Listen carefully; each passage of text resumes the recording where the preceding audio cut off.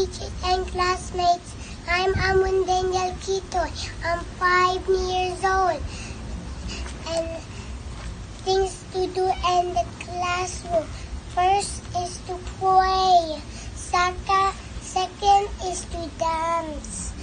Third is to listen to the teacher. Fourth is to eat as a group. Third is fifth is to play. Six is to clean up.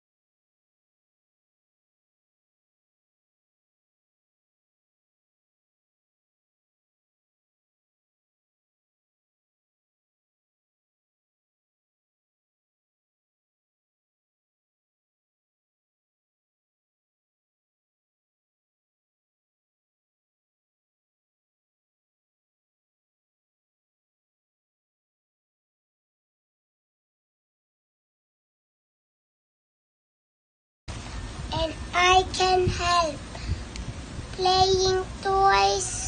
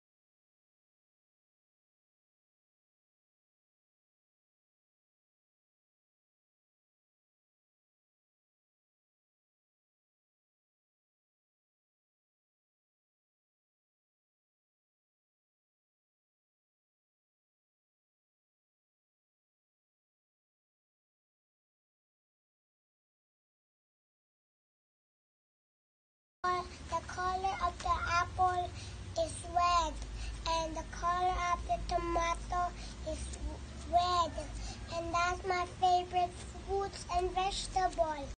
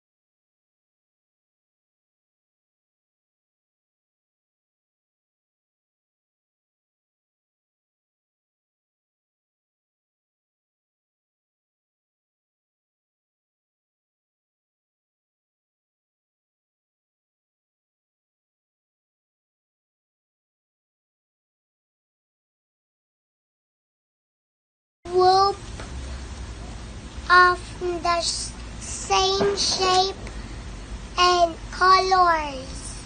It's circle, green triangle, green, yellow square, orange oval, blue rectangle. Thank you. See you later, teachers and classmates.